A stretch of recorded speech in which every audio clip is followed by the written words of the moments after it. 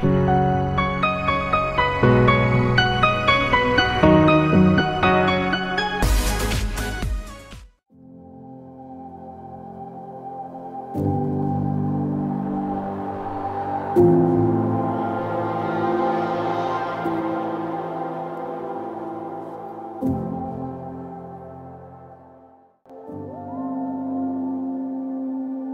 nombre es Fanny Rodríguez, soy del Salvador y tengo 32 años. No puedo regresarme a mi país, pues a mi país no puedo regresar porque precisamente me vine huyendo de mi país, porque allá en mi país yo fui amenazada a muerte junto con mi familia.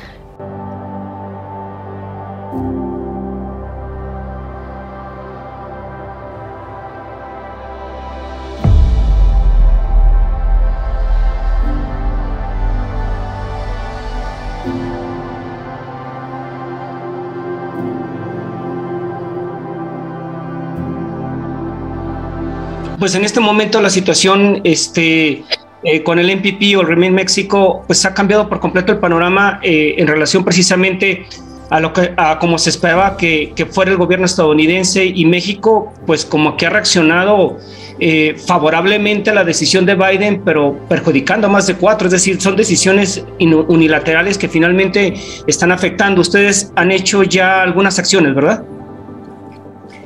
Sí, eh, mira, la verdad es que nos parece que entre esta cuestión ¿no? de, de voluntades políticas, uh -huh. legalidad versus ilegalidad, y las personas en medio, ¿no? las personas que, que salen de sus países huyendo para solicitar asilo, sí. pues sí, efectivamente las organizaciones de la sociedad civil hemos tenido que reaccionar eh, frente a es, toda esta situación que no solamente no concluyó con el cambio de gobierno en Estados Unidos, sino que además eh, México continúa en esta constante pues complicidad, ¿no? De alguna manera es una complicidad eh, violando toda eh, el principio de legalidad, tratados internacionales, legislación incluso local, ¿no? ¿a, qué, ¿a, qué, me refiero? efectivamente, ya teníamos una primera versión de este programa denominado Quédate en México o MPP, ¿no? Migratory Protection Protocols para el lado estadounidense. Sí. Eh, el primer día de, de, mandato del presidente Biden en Estados Unidos, él ordenó la cancelación de este eh, programa. Sin embargo, eh, pues fue a través de una orden judicial de Texas que se tuvo que volver a implementar, ¿no? Y, y esto no es lo, lo, más grave, lo grave es que México tuvo esta eh, oportunidad enorme de decir, no, no voy a ser cómplice más de este programa, no acepto que me regreses a tus solicitantes de asilo de Estados Unidos, ¿no? Uh -huh.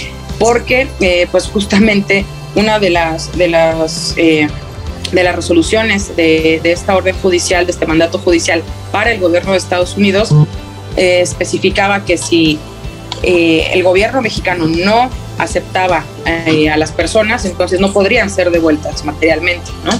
Sin embargo, bueno, pues México a través de comunicados de Cancillería, ¿no? De la Secretaría de Relaciones Exteriores, ha manifestado su voluntad de recibir a estas personas. Entonces, bueno, pues como te imaginarás, todo esto genera una serie de violaciones de proceso, pero también de fondo muy importantes.